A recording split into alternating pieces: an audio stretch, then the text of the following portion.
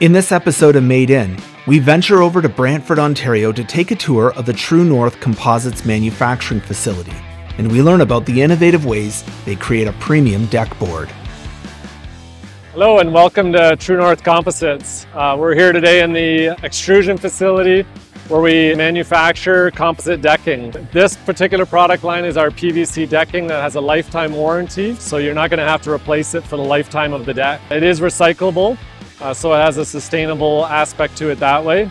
Uh, because there's no fiber in it. This is a piece of uh, clubhouse decking. This is our PVC. It's a cellular PVC, so it's 30% air, where they've put air bubbles into the product to make it lighter weight, and that helps cut down on the shipping costs. It's easier to handle, easier to cut. It has a nice wood grain finish on it that's being embossed into the product right here. And that's our premium product. It doesn't have any natural fibers in it. We're here at the recycling facility, uh, EPL Plastics, where they bring in recycled plastic and reprocess it from this state into a pellet that we can use to manufacture a deck board. What we're going for for the composite decking is a polyethylene plastic and that comes in here in several different forms. So they get piped in from silos out back and then it feeds it into a hopper system that then feeds it into the extruders. They'll all drop into this funnel here and the material will go into the extruder. So there's twin screw extruders here that are turning counter-cyclical and working to move the material through. And that's all controlled by a computer here as well.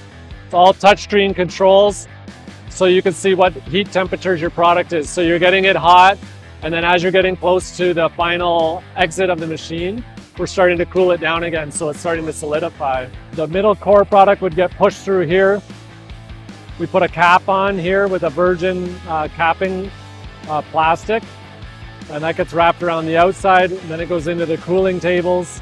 So these baths will cool down the product. So this is all a closed loop, uh, just basic water.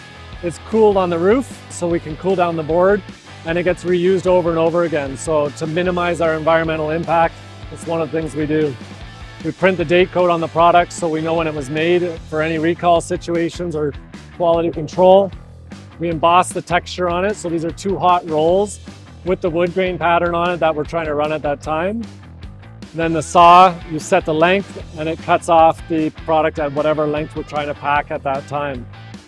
And that's how you extrude a composite deck board. Well, I hope you enjoyed this episode of Made In. If so, why not hit the subscribe button, head over to edgefactor.com, create a free account. There are many more videos like this.